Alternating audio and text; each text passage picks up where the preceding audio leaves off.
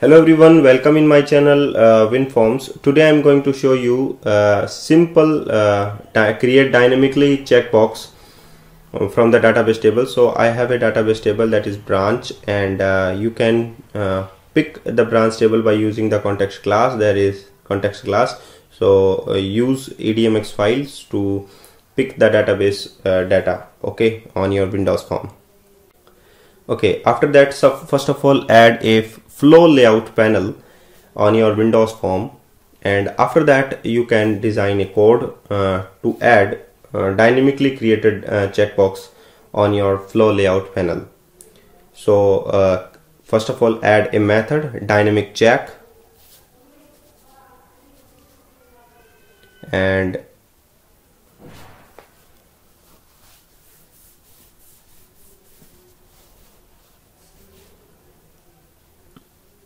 use this context class that is test entities test entities uh, that is context equals to new test entities. By using this context class you can pick uh, the database table data okay? So mm, you know that is the public property that is uh, branches. It's a similar to the uh, table name.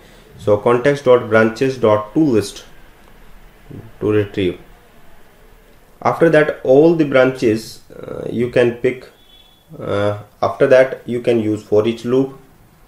And um, for the e uh, for the each data you can uh, design a checkbox simply.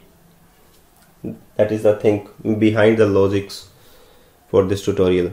So checkbox chk equals to new checkbox.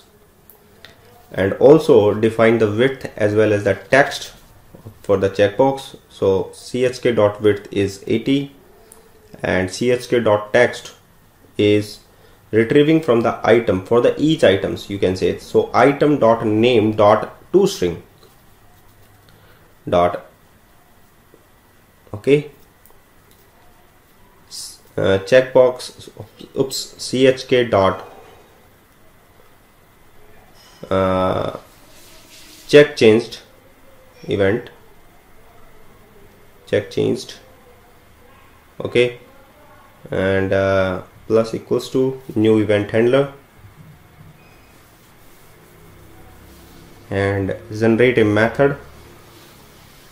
Chain check. And after that you can add this checkbox in the flow uh, layout panels. Oops. Dot to list instead of two string uh, sorry uh, instead of to list use to uh, to string. Okay that's fine. Generate a method stub for this chain check. Generate method from this uh, for this code. Flow layout panel one dot dot controls dot add. And the controls is chk so after that uh, you can add this. Okay.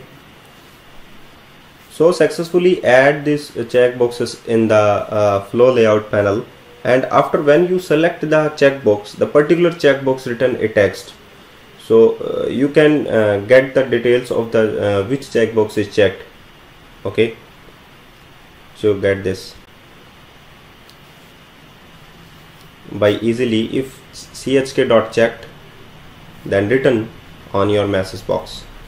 So guys thank you for watching this video and keep watching my all other videos which is related to windows form and i will provide you a better video tutorial of windows form in further details and how to handle the all softwares uh, in windows form.